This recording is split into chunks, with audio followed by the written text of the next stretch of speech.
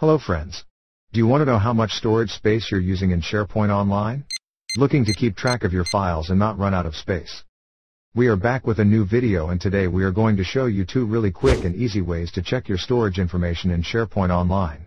Whether you're running low on space or just curious about how much data you're storing. These two methods will explain each method in detail. The easiest way to check your storage information is via the SharePoint Online Admin Center.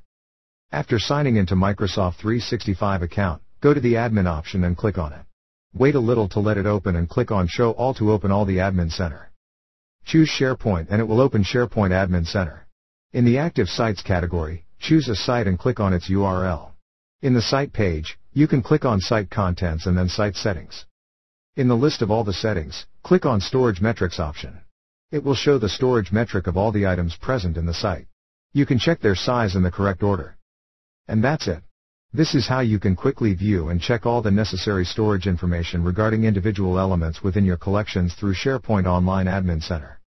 Now, we'll be taking a look at the steps necessary to connect PowerShell to SharePoint Online to get the storage quota of a particular site. Open Windows PowerShell, then you need to enter the command. Doing so will open up a dialog box where you can add your SharePoint Online account credentials and then tap OK. The next step involves importing the Windows PowerShell module by running the command.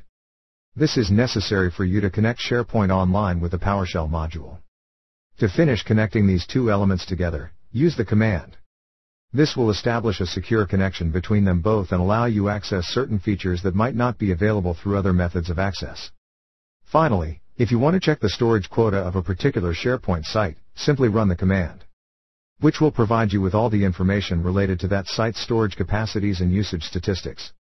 As SharePoint Online is becoming increasingly favored due to its user-friendliness and advanced features compared to SharePoint on-premises deployments. More and more users are making the transition from the traditional SharePoint server to the cloud-based SharePoint Online. And so, we introduce Kernel Migrator for SharePoint.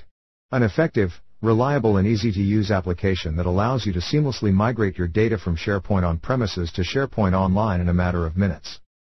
To learn more about the tool, click on the link given below. Have a great day.